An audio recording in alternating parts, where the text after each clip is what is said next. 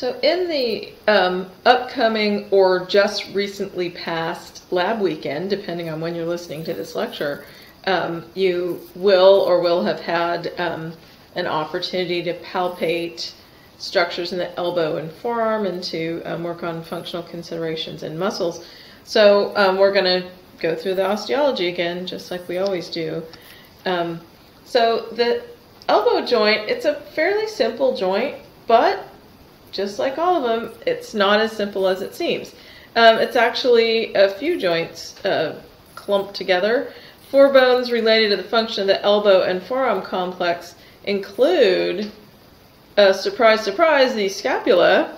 Um, because the triceps, uh, long head of the triceps attached to the scapula, the um, uh, inferior glenoid tubercle, the distal humerus, the ulna, and the radius. So just like always, it seems like uh, something really simple, and, and yet it's more complex. Isn't that uh, interesting about the body? So the scapula, just as a review, and we're only going to review the um, uh, landmarks that are relevant to the elbow. Um, the coracoid process uh, is the proximal attachment of the short head of the biceps. So the biceps are major elbow flexor, and so we're just reviewing that. Supraglenoid tubercle is the proximal attachment of the long head of the biceps. And the infraglenoid tubercle um, is the proximal attachment for the long head of the triceps. So um, we have the biceps and triceps brachii are um, two joint muscles. We can get into issues with active and passive insufficiency, just like we talked about with the two joint muscles in the lower extremity. So um, between the elbow and the shoulder, they have to uh, work it out who's going to get um, more of the length tension relationship for uh, biceps and triceps. So we will uh, talk more about that. So the distal humerus, um, the uh, medial side of the distal humerus is called the trochlea. Um, trochlea is the Latin word for spool, and if you look at the trochlea, it does sort of look like a spool of thread. You know, it's shaped like that. It's the spool, uh, spool-shaped structure on the medial side of the distal humerus, and it articulates with the ulna to form the um, humero-ulnar joint, which is what we really consider as our elbow joint. Um, the coronoid fossa is a small pit located just superior to the trochlea, and it accepts the coronoid process of the ulna when the elbow is fully flexed. So it's that little dent on the anterior surface of the distal humerus. So um, on the lateral side, lateral to the trochlea, we have the capitulum. The capitulum is a, a rounded little head um, that articulates with the head of the humerus to form the humeroradial joint, and that's our major pivot joint in our forearm. So we can do forearm pronation and supination, which is very important for a lot of our functional tasks. Um, the humerus has epicondyles just like the femur has epicondyles. So of course on any lab practicals, I want you to specify um, it's the medial epicondyle of the humerus or of the femur. Um, so of the humerus, the medial epicondyle is the prominent bone projection on the distal humerus's medial side. And it serves as a proximal attachment for most of the wrist flexor muscles and some of the finger flexors um, and the pronator teres and the medial collateral ligament of the elbow. So a big bone projection, lots of attachments. Sounds familiar, right? So the lateral epicondyle, you will not be surprised to find out, is on the lateral side of the distal humerus. And it's a proximal attachment for most of the wrist extensor muscles, the supinator muscle and the lateral collateral elbow ligament. So just like the knee and the ankle and the wrist and everything, we have lateral and medial collateral ligaments. So those are our uh, lateral stabilizers. Um, we also have superior to the epicondyles on the medial and lateral side, we have this ridge of bone that's called a supracondylar ridge. Um, we have those on the femur as well. Um, but on the uh, medial femur, the adductor tubercle is on what would be the supracondylar ridge. So it's immediately proximal to both epicondyles, and it's again an attachment site for muscles. So the olecranon fossa, it's um, on the posterior side of the distal humerus, relatively deep, broad pit.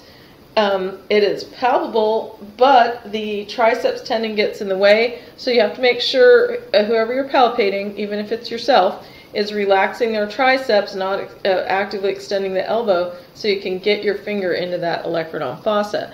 So um, it accepts the olecranon process um, for that elbow articulation between the humerus and the ulna.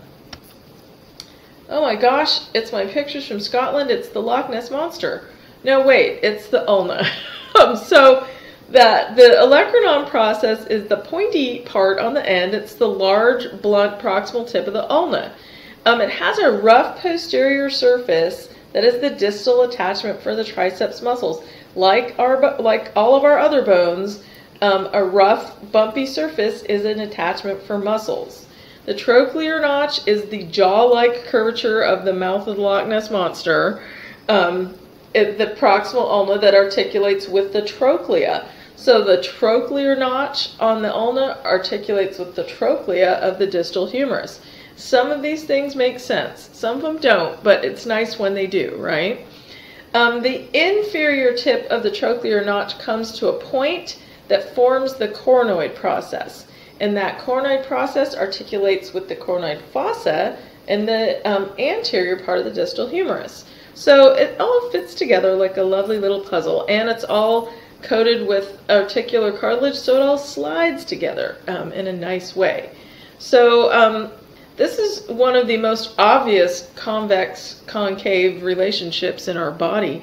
Um, and it's nice because, wow, you can really tell which is convex and which is concave.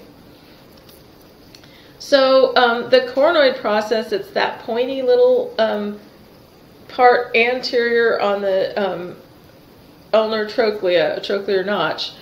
Um, the it strengthens the articulation of the humero-ulnar joint by sort of firmly grabbing the trochlea. So when we look at that jaw of the trochlear notch, that Loch Ness monster jaw, it really locks the um, ulna onto the trochlea of the humerus.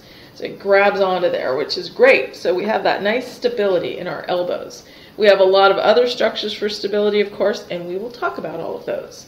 So the radial notch is slightly inferior and lateral to the trochlear notch. So in this picture, you can see it nicely. Um, it's, it's on that um, lateral side. And just like in the, um, with the tibia and fibula, where the notch is named after the other bone, the radial notch is on the ulna. There's an ulnar notch on the radius um, at the distal end. So the radial notch is on the ulna, slightly inferior and lateral to the trochlear notch, and it articulates with the radial head to form the proximal radio-ulnar joint, and that's our major pivot joint in our forearm.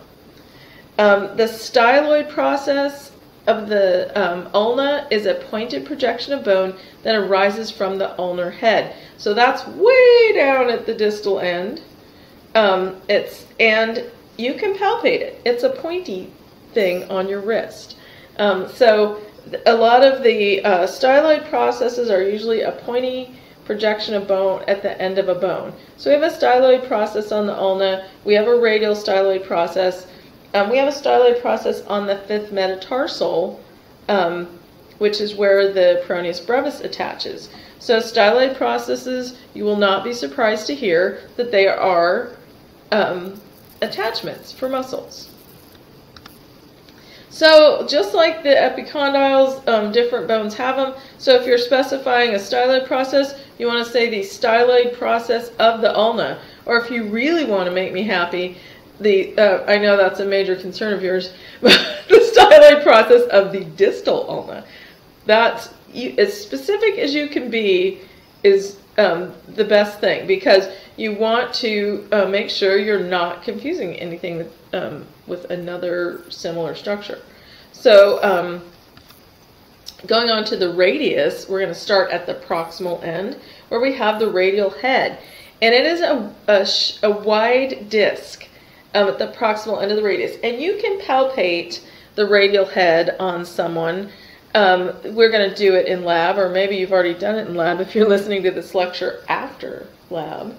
Um, it's sometimes if someone has huge, like Popeye muscular forearms, you might not be able to get in deep enough to palpate the radial head, but on most people, you can palpate it either anteriorly or posteriorly. So we will we'll find it in. Um, it's uh, sometimes it's nice to be able to to palpate because you're trying to um, figure out what's going on with the articulation there. So the superior surface of the radial head consists of a shallow cup-shaped depression called the fovea. Remember there was a fovea on the head of the femur too. So if we're going to say fovea, we're going to have to say the fovea of the radial head to make sure we distinguish that from the other fovea. There's also a fovea in the eye. So, um, you know, let's just specify where we are. Um, that fovea of the radial head articulates with the humeral capitulum, forming the humo, uh, humeroradial joint. So that's that pivot joint. Um, the so you can see how that little disc can spin on the round um, capitulum. Uh, pretty cool how that works, and we can move in the transverse plane for that forearm pronation and supination.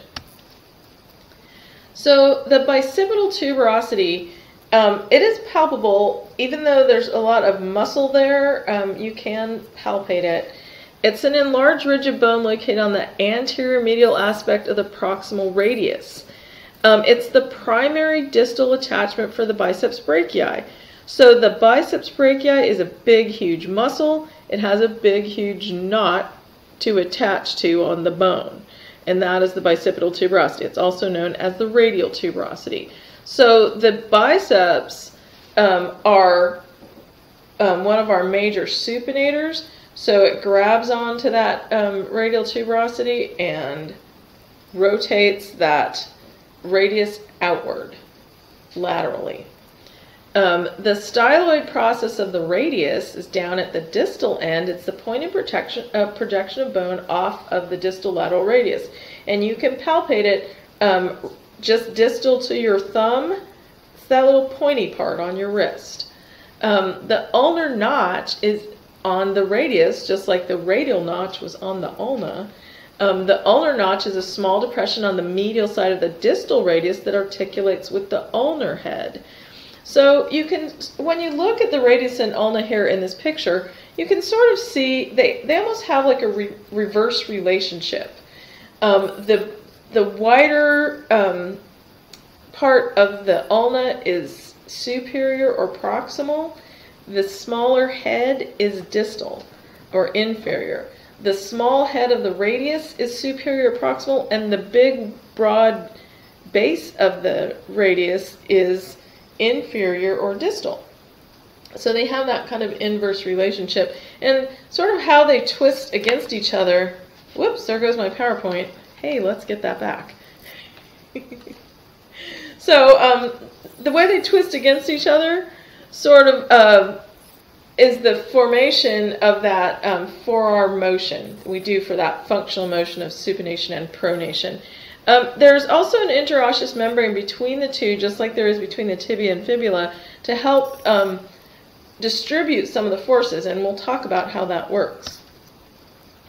So we have the two joints, the humeral-ulnar joint um, and the humeral-radial joint. So the humeral-ulnar joint provides most of the elbow structural stability by that trochlear notch interlocking with the trochlea.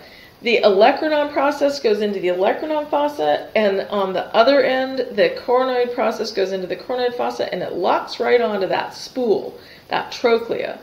Um, so, by having that stable um, interlocking joint, it limits the motion of, el- of the elbow to flexion and extension. So the elbow is your classic hinge joint, one degree of freedom, um, flexion and extension in the sagittal plane. The humeral radial joint is formed by the capitulum articulating with the fovea of the head of the radius. Um, it, so that articulation permits continuous contact between the radial head and the capitulum during supination, pronation, flexion, and extension. So when the um, humeral ulnar joint is flexing and extending, the humeral radial joint is gliding the, the um, head of the radius is gliding on the capitulum, um, when the you're doing supination and pronation, the head of the radius is spinning on the capitulum. So um, it's a really interesting interaction of two joints for the functional movements that we do with our lower um, arm. So we have, um, because of the arrangement of the trochlea and the capitulum, you can you can see a little bit in this picture how um, the trochlea on the medial side goes a little bit more inferior than the capitulum on the lateral side. So we end up with this, um, what we call our normal cubitus valgus, which is where the natural outward angulation of the forearm within the frontal plane. Um, it's called the carrying angle because of its function of keeping a carried object away from the body. You can imagine if our um, if we had cubitus varus like in that third um, picture there in picture C, the arms really close to the body, the forearms really close to the body, and it's a, um, you have to engage the shoulder a little bit more to keep a carried object away from the body, and it takes it farther away from your center of gravity, so it requires more torque to lift something. So with that um, carrying angle, the normal cubitus valgus, um, you can still keep the weight of it in your body and have the object a little bit away from your body that you're carrying. So really interesting. Elbow trauma can result in either excessive cubitus valgus or excessive cubitus varus. So um, a lot of times injuries to the elbow are caused by trauma. Um, I will share with you my elbow trauma story. Um, it happened in the late 80s um, when I was a ski patroller and I was off my skis pounding in a snow fence that was higher than my head with a 15 pound mini sledgehammer. Um, the wind blew the fence back and knocked me off balance, and um, basically my center of gravity got outside of my base of support, and it pulled the um, the weight of the hammer back behind my body, so my arms up over my head.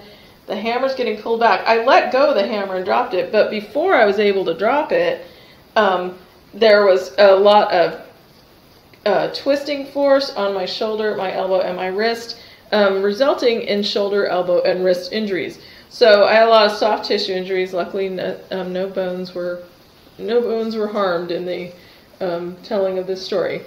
But um, so the the soft tissue injuries, I spent a lot of time in PT rehabbing from those, and unfortunately, I was out for the rest of the season um, with skiing. It's just unfortunate but um, and with working. So um, those traumatic injuries in the late 80s, um, you know, eight to 10 years later developed into um, overuse injuries and um, tendonitis. So um, you can have sequelae or follow-ups from injuries that last for years and years afterwards. so I guess the, the moral of the story is uh, keep a wide base of support when you're pounding in a snow fence. But the other moral of the story is that um, elbow trauma can do a lot of damage. And, um, and then you can um, end up uh, later on with the consequences of that. Um, one of my sisters uh, used to be a police officer and she competed in powerlifting in the police and fire games and um, she ended up with elbow injuries um, because of her powerlifting past. Um, she does pretty well with it now. She's a she owns a yoga studio, but um, she had trouble with uh, elbow issues um, sometime after that, just because of the trauma from doing the powerlifting. So the elbow um, has a lot of supporting structures, just like all the joints. The articular capsule and it's a pretty thin capsule. I mean, we can palpate a lot of the stuff through the capsule. Um, it's an expansive band of connective tissue enclosing um, all the joints. So the humeral ulnar, the humeroradial, and the radio-ulnar joint. So um, it's um, enclosing all of that. And then we have the medial and collateral ligaments um, to prevent varus and valgus stress. So the medial collateral ligament attaches proximally to the medial epicondyle of the humerus and distally to the medial aspects of the coronoid and olecranon processes. So it provides stability by resisting cubitus valgus producing forces. Um, and you can see that um, medial collateral ligament, how it's going to do that. When you go into more valgus, the ligament is on stretch. The lateral collateral ligament originates on the lateral epicondyle and splits into two fiber bundles known as the radial collateral ligament, which attaches to the annular ligament um, that goes around the radial head, um, and the lateral ulnar collateral ligament, which attaches to the lateral aspect of the proximal ulna. So um, it is more extensive than some of our other lateral collateral ligaments. Um, it provides elbow stability by resisting cubitus varus producing forces. So in the knee, remember that there um, there aren't as many varus producing forces as valgus producing forces because the other leg is protecting you. But in the arm, the elbow is more vulnerable because we're reaching and our arms are out, um, trying to affect the world around us. And um, so we are more prone to varus producing forces in the elbow than we are in the knee. So that lateral collateral ligament has to be more um, vigilant, I guess we'll say, in the elbow than in the knee. So I like this picture. It's a Netter picture. Um, I'm just really super fond of um, Netter anatomy books. Um, it has just really good pictures of the ligaments, which I love. Um, the medial and lateral collateral ligaments that um, limit excessive varus and valgus deformations. Um, the medial collateral ligament is most often injured during attempts to catch yourself from a fall. So you fall and you just naturally, that crossed extensor reflex, you send your arm out to catch yourself. Um, so the ligaments become taut at the extremes of flexion and extension. So extremes of flexion and extension can also damage the collateral ligaments because you go into one of those extremes and then you put force on it, um, you're going to have force on those ligaments. So um, the elbow is a, a uh, joint like the knee that is often subject to trauma but unlike the knee, we don't have to walk around on it, so it's a little bit easier to recover from an elbow injury. Although it took years to recover from my stupid elbow injury, so um, I guess I can't say that it's easy. Um, the elbow flexion extension occur in the sagittal plane about a medial lateral axis of rotation, just like most flexion and extension motions. So the, um, the medial lateral axis of rotation goes right through both epicondyles right? So you can you can imagine that skewer going through the epicondyles, and we have that flexion extension. The normal range of motion at the elbow um, spans from 5 degrees past um, full extension to 145 degrees of flexion. Most activities use a more limited arc of motion between 30 and 130 degrees of flexion.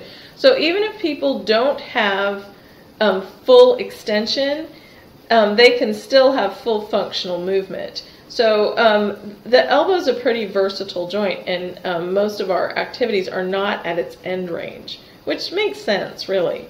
Um, so the uh, if at the uh, mid range, of course, we have um, better actin myosin crossover for the muscles. Um, we have um, more functional stability in the ligaments because we're not at those extremes of flexion and extension. So it makes sense that the functional activities are in that um, middle arc. So when I had my um, elbow injury, um, I, I was at 180 degrees, or um, zero degrees really, full extension of the elbow. Um, but it was, I, I have, I naturally have a little bit more than that as I reach out. And I remember our cats were kittens at the time. Um, well, that was many, many years ago, so those cats are all in cat heaven. But uh, kittens are zinging around the house, and you reach out to grab them. And I remember reaching out to grab a kitten and um, going into uh, my, what would be my normal full extension, and it was quite painful. So even though grabbing kittens isn't a normal functional activity, um, it could be. So um, we've got the proximal and distal radial ulnar joints. So um, that's those are considered the forearm joints, if you want to think of it that way. Um, and just like the tibia and fibula, where we have the proximal and distal tibiofibular joints, um, they they have that interosseous membrane to um, uh, act as muscle attachment sites and to um, redirect forces a little bit. So pronation and supination occur as a result of the motion of the um, proximal and distal radial ulnar joints. Um, pronation and supination do not occur at the wrist or hand. It's definitely a forearm motion. So um, uh, the firm articulation between the distal radius and the carpal bones um, requires that the hand follows the rotation of the radius. So a lot of times when we're talking about pronation and supination, we use the hand as a reference point. So when you're supinated, your palm is facing anteriorly. Um, when you're pronated, it's facing posteriorly, but it doesn't happen at the wrist. It happens at the forearm, and because the the uh, distal radius and carpal bones have those tight um, articulations, it, they go along for the ride. If that makes any sense. So we talk about uh, supination and pronation. Supination, the um, palms are facing anteriorly. That's our classic anatomical position. Um, pronation, they're facing posteriorly. When the elbow is bent at 90 degrees, which is often a functional position, um, in supination, the palms are facing upwards like you're holding a bowl of soup. It's a way to remember supination. Um, and in pronation of the forearms, the palms are facing downward um, or inferiorly, like you're dumping out your soup. So um, the supporting structures of the proximal and distal um, radial ulnar joints include the annular ligament, which is a thick circular band of connective tissue that wraps around the radial head and attaches to either side of the radial notch of the ulna. Um, so it holds the radial head firmly against the ulna, but it allows it to spin freely during supination and pronation. So it's kind of cool. It's it's kind of like a um, like a fan belt in a machine or in your car. Um, so the um, fan can spin inside, but the belt holds it um, where it needs to stay. So um, pretty neat, I think, the annular ligament. Um, the distal radial-ulnar joint capsule is reinforced by the palmar and dorsal capsular ligaments of the wrist, and it provides stability to that distal radial-ulnar joint. So um, if we're talking about stability versus mobility, the distal joint is more stable, the um, proximal joint is more mobile, even though it's pretty stable. The interosseous membrane between the radius and the ulna also help bind the radius to the ulna, and they serve as a site for muscular attachments and a mechanism to transmit forces proximally through the forearm. Um, that's pretty important, and we'll talk more about that. So in terms of kinematics, supination occurs in a lot of functional activities that require the palm to be turned up. That's your bowl of soup, holding the bowl of soup, supination. Um, and pronation is involved with activities that require the palm to be turned down, like pushing up from a chair. That's a functional activity that a lot of people do every day. Um, so, use, a lot of times when we're talking about pronation and supination, we're talking about it in that plane where the elbow is bent to 90 degrees. So, um, the it's interesting to um, explore that relationship and we're going to do some exercise in lab or if you're listening to this lecture after the lab um, we have done them. So the force of gravity is going to be different um, going from neutral to supination neutral to pronation whether gravity is the force or um, gravity is the resistance and um, it's all involved in our functional activities so I've worked with a lot of people in the clinic who have elbow injuries, and it's usually as a result of trauma. Um, one of the interesting uh, pronation supination um, injuries that I worked with, um, there was a nice guy who uh, was a truck driver. He was uh, jumping down from his truck, and uh, those bigger trucks, a lot of times they have a handle that you can hold on to, like a grab bar. Um, and he grabbed onto the bar and he jumped down. His feet landed on ice and slipped out from underneath him and did damage at his elbow and his shoulder. And um, sort of the opposite of my elbow and shoulder injury, uh, mine was open chain, his was closed chain. so um, but both involving snow and ice and wind. So um, he had surgery, so he had a plate in um, his forearm, and it limited his supination. So supination is important for things like bringing food to your mouth and um, shaving. So he was coming into PT for three times three times a week for a while, and he couldn't shave because he couldn't get his hand into that position, and it was his dominant hand, and he just didn't feel safe shaving with his non-dominant hand. So um, we were working on his supination motion, and even had a dynamic splint at one point. and we were also working on his shoulder. And one day he so he had this big old beard because he hadn't been able to shave for a while. One day he came in, he was clean shaven. We almost didn't recognize him, um, but he had finally gotten enough motion where he could uh, supinate enough to shave. So that was pretty cool. It was a, a neat milestone, but it just shows you how much. Um, supination and pronation function in um, functional movements like shaving or eating. So um, supination and pronation occur as the radius rotates around an axis of rotation that travels from the radial head um, proximally to the ulnar head distally. So zero degrees, or the neutral position of the forearm, is the thumbs up position.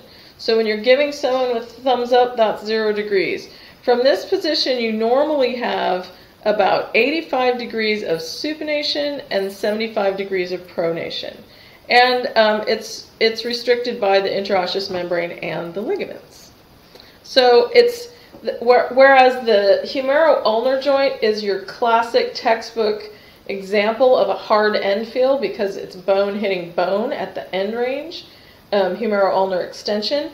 Pronation and supination are more of a firm end feel because it's muscle and um, connective tissue stretching that is uh, allowing us to reach the end feel. So um, with the humerus fixed and the forearm free, um, the arthrokinematics of supination and pronation, the radius moves and the ulna stays stationary. Because the ulna is, um, that trochlear notch is um, articulating with the trochlea, it's pretty stable, um, and the radial head can move. So usually the radial head spins in place in the direction of the thumb. Um, since the radius rolls and slides in the same direction relative to the um, ulnar head, um, the distal radius, in other words. So the proximal radius is a spin, the distal radius is a roll and slide. So you get two different um, kinematic, uh, arthrokinematic schemes in that one motion. Kind of cool, right? So when we were working with our, our guy with the um, beard who couldn't shave, um, we were working a lot on um, motion at both ends of the radius, to and and the soft tissue in between too, to help him get his motion back. So um, the arthrokinematics of pronation are essentially the same as supination, but in reverse. So during supination, the radial head spins in the direction of the thumb, and the spinning head of the radius also makes contact with the capitulum of the humerus. So at the distal radial ulnar joint, the concave surface of the distal radius rolls and slides in the same direction across the stationary convex ulna.